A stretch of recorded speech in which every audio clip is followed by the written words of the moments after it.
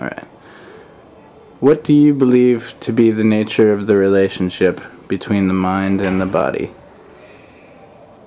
I think mind and body are are related. I think that the body and bodily um, issues, physical issues, can affect the mind, and I also believe that the mind can have an impact on the body.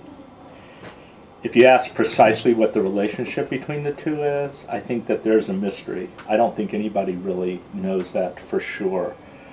What I'm confident of, um, I think it makes sense experientially and as a Christian and a pastor and a follower of Jesus, I think is reflected in the Bible, is that the body, including the brain, does not encompass all that there is to our humanity, that there's something more that doesn't just fit into that that physical dimension that we can speak of as the mind.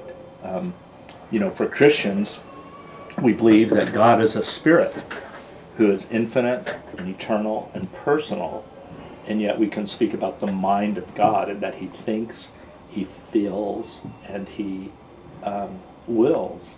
And those are the, like the three components of personality, all of them existing without a body.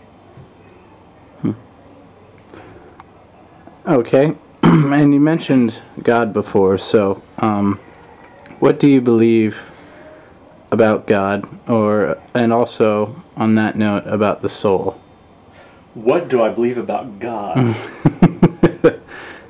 um, there's an old Christian confession called the Westminster Confession that I think actually has a pretty good definition of what I believe about God. It says that God is a spirit, infinite, eternal, and unchangeable in his being, wisdom, power, holiness, justice, goodness, and truth.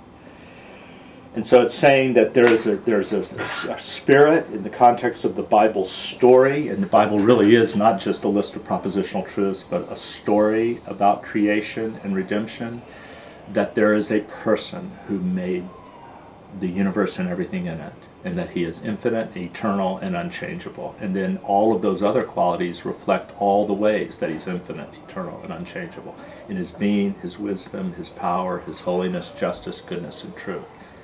Um, part of this, the, the story of creation that I think resonates with what a lot of people innately feel is that God made man a living soul.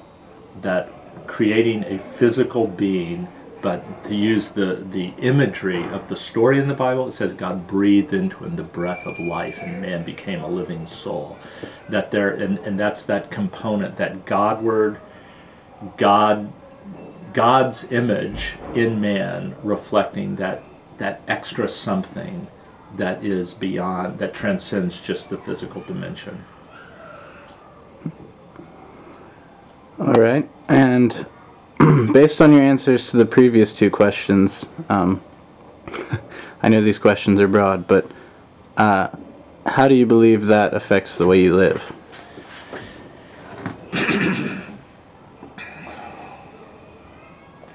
I believe it's it, it totally um, immerses the way you live in a view of, of your identity and your purpose.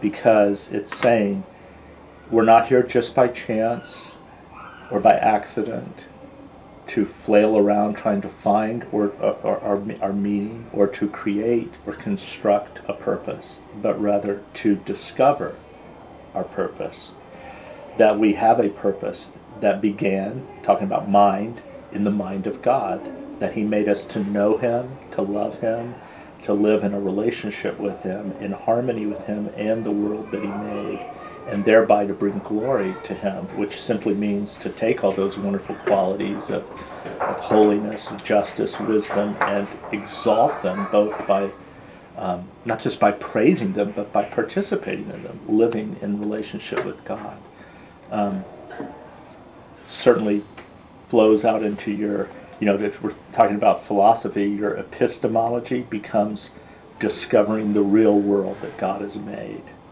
and believing that He created us with both reason and senses to discern a real world that He wants us to interact with. In terms of ethics, it means um, understanding the purposes for which God made us and His laws of life and how He wants us to relate to people. In terms of um, ontology, it means understanding our identity that we really are living souls created in the image of God in a world that He created for His glory and for our good.